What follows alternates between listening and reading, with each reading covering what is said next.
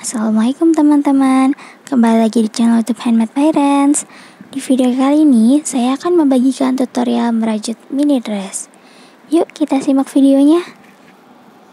Untuk alatan bahannya di sini saya menggunakan satu gulung warna putih, biru, kuning, hakpen ukuran 3 dan juga gunting. Nah ini ada beberapa singkatan yang saya gunakan dalam video tutorial kali ini Langkah pertama, kita mulai dengan benang warna putih. Di sini saya menggunakan hakpen ukuran 3 ya. Kita buat rantai sebanyak 15. 1 2 3 4 5 6 7 8 9 10 11 12 13 14 15 Kemudian kita slip stitch ke rantai yang pertama.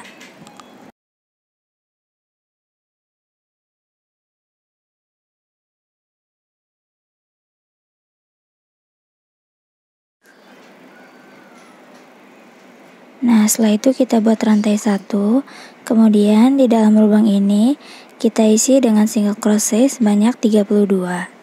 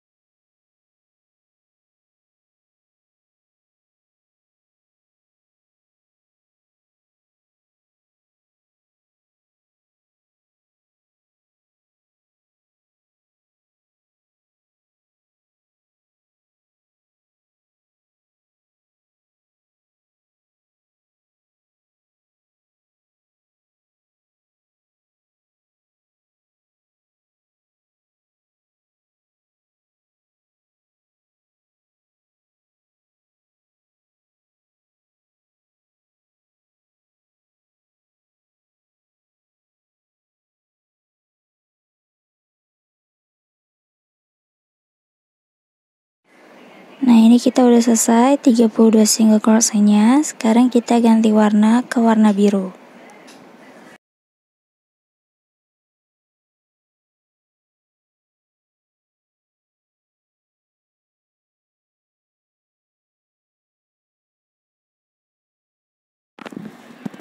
Untuk benang warna birunya kita buat slip knot atau simple terlebih dahulu Kemudian kita kaitkan ke benang yang warna putih.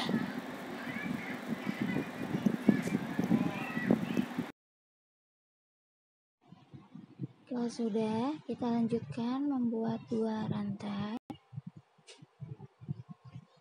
Satu, dua, lalu buat satu double crochet di lubang yang sama.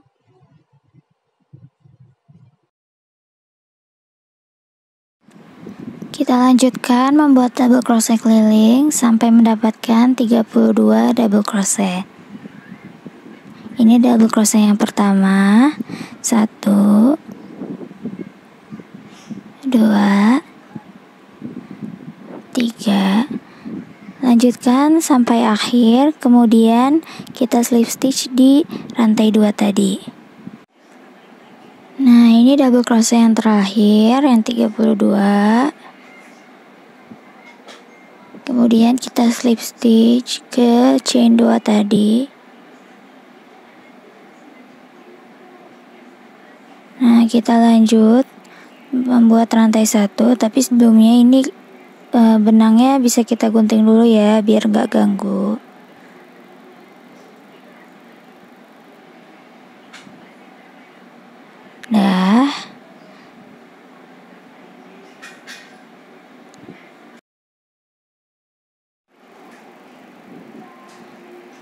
kita lanjut buat rantai satu, kemudian kita SC lagi sekeliling sampai 32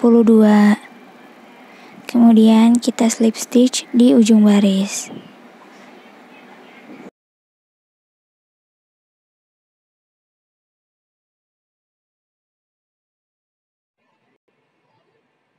Nah, ini SC yang terakhir, yang ke-32. Kemudian kita slip stitch rantai satu tadi. Kalau sudah lanjut ke pola berikutnya, kita buat rantai sebanyak dua. Kemudian double crochet increase di lubang selanjutnya. Satu, dua, lalu buat double crochet sebanyak 8 1 2 3 4 5 6 7 8 kemudian kita skip sebanyak 7 stitch ya. Baru kita buat double crochet increase di stitch yang ke-8 ya 1 2 3 4 5 6 7 berarti di sini kita buat double crochet increase. 1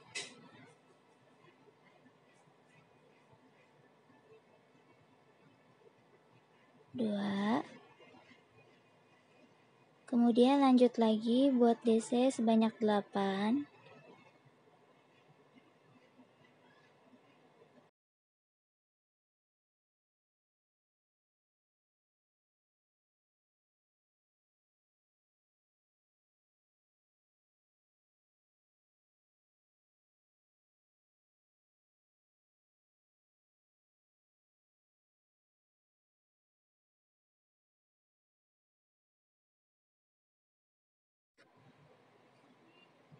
Nah, kalau udah kita slip stitch ke rantai dua yang pertama.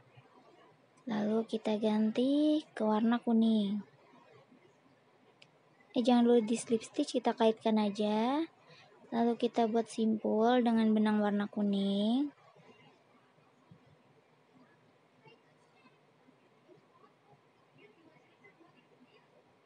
Lalu kita kaitkan.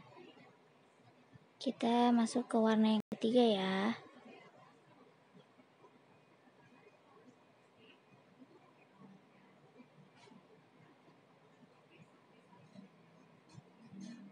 Warna kuning ini, kita buat rantai sebanyak dua lagi ya.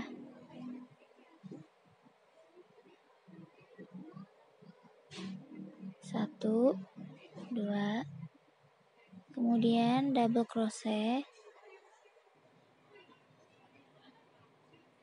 di lubang selanjutnya kita buat double crochet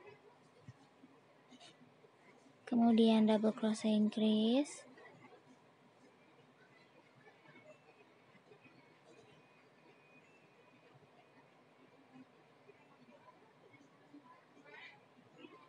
kemudian kita buat lagi double crochet sebanyak dua. Satu. Dua. Kemudian kita buat double crochet increase lagi.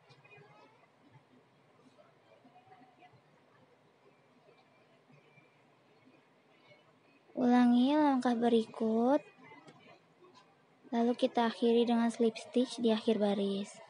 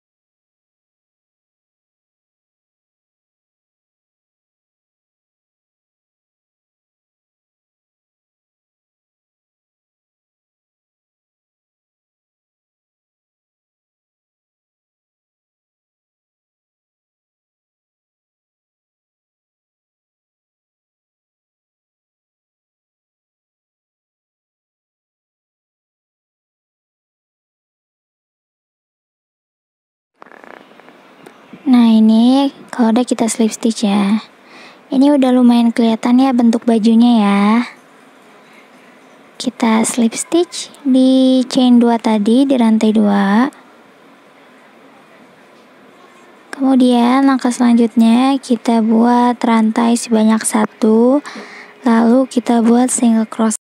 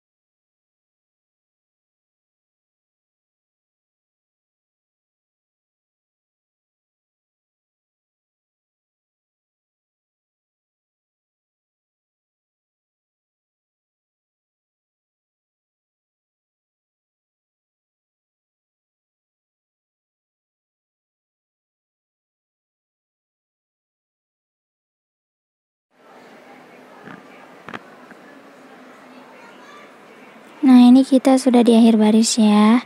Seperti biasa di akhir selalu kita akhiri dengan slip stitch Kita lanjut untuk dua row terakhir di bagian warna kuning ya. Ini bisa digunting dulu biar nggak terlalu ribet. Nah untuk row ketiga dan keempat di warna kuning ini kita awali dengan membuat chain 2 rantai 2 kemudian kita hanya membuat double crochet sepanjang putaran. Kita buat dua row ya bun. Jangan lupa untuk membuat slip stitch di tiap akhir baris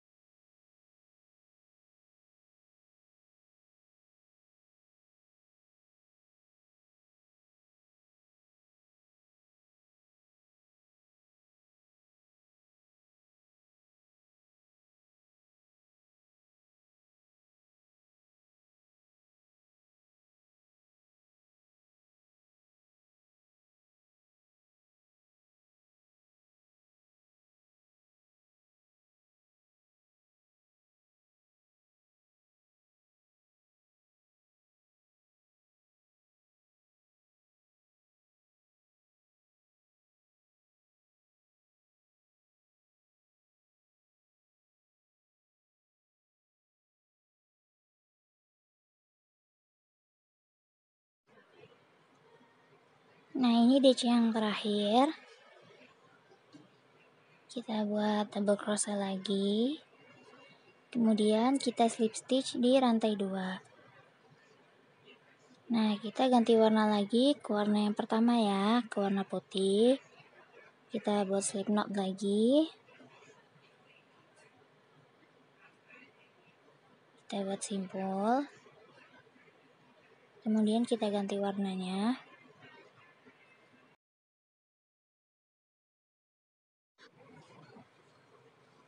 kemudian kita slip stitch dulu. Baru kita masuk ke pola. Buat rantai sebanyak 3 1 2 3 kita skip satu stitch kemudian kita slip stitch di stitch yang selanjutnya. Ulangi lagi langkahnya rantai 3 skip satu stitch, kemudian slip stitch. Lakukan langkah yang sama sampai akhir baris ya.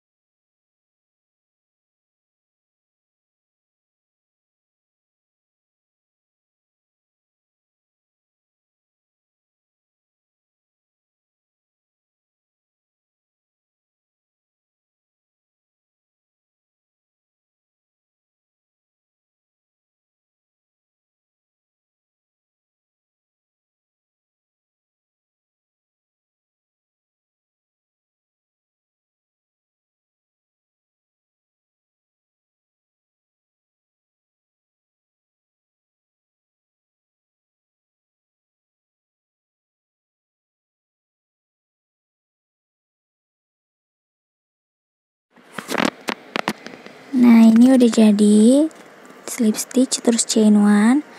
Kemudian bisa kita gunting sisakan sedikit untuk nanti kita jahit ya kita rapikan. Kemudian ini benang yang di dalam bisa kita gunting biar nggak berantakan. Nah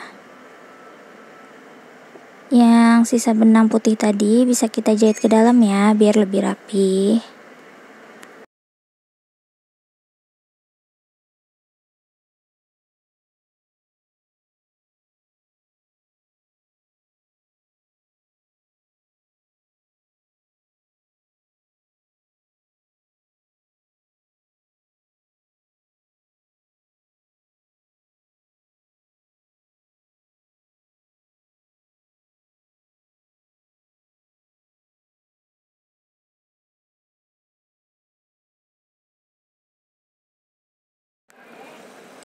Nah, ini uh, tampak belakangnya ya.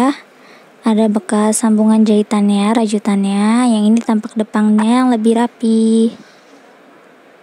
Sekarang yang kat terakhir kita tinggal pasang pitanya. Saya tadi udah buat pita, jadi tinggal ditempelin aja. Tempelinnya pakai lem uhu.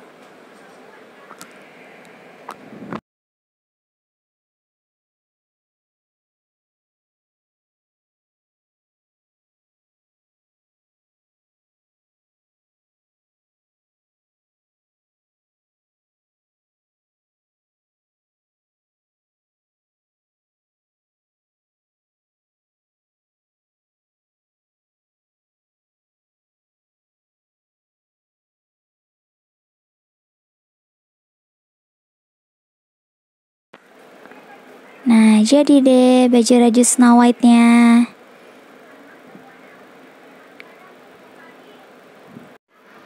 Nah, segitu dulu ya teman-teman video tutorial kali ini. Semoga videonya mudah dimengerti dan bermanfaat. Ini bisa banget untuk ide souvenir sebagai magnet kulkas, tinggal ditambahin magnetnya aja, atau sebagai gantungan kunci. Tinggal teman-teman kreasin pilihan warnanya. Terima kasih, sampai berjumpa di video selanjutnya ya. Assalamualaikum.